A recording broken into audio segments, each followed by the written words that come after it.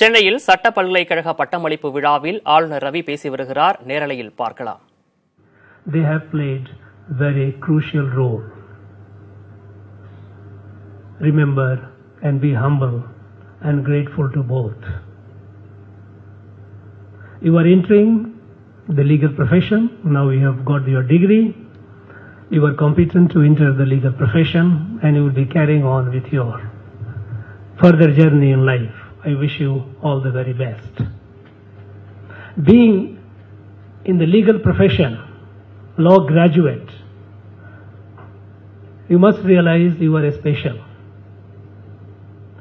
Invariably, since the time immemorial, in the bright students, bright young men and women have been coming to the law profession. And your profession is such where you keep looking at issues from different perspectives, interpreting, reinterpreting. So intellectual churning is dynamic and it keeps sharpening your intellect.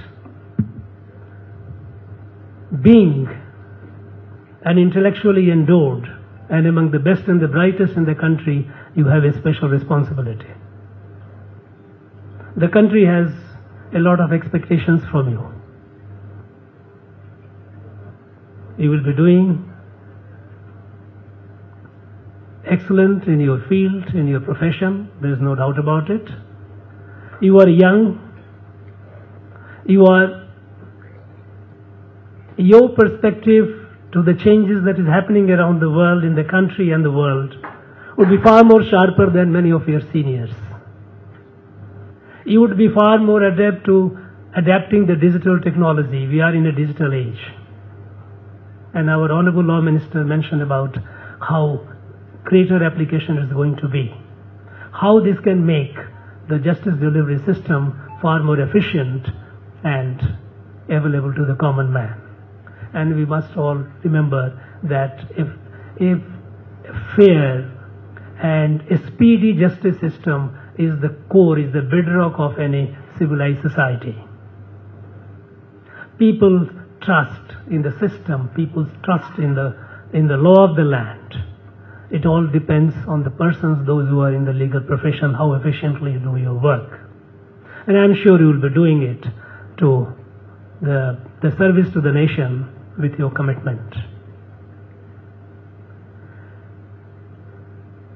From time to time, even we have seen during our independence struggle, the people from the law profession have played a very significant role. Your role is not only to just be an efficient instrument of justice delivery system, but you are also expected to guide the society from time to time. That is what stalwarts in the past have done. And this responsibility will continue to be with you for all time. to சென்னையில். சட்ட பல்கலைக்கழக பட்டமளிப்பு விழாவில் ஆளுநர் ரவி பேசிய அந்த காட்சிகளை பார்த்தோம் அவர் பேசிய முழு விவரங்களை பின்னர் வரக்கூடிய செய்திகளில் விரிவாக பார்க்கலாம்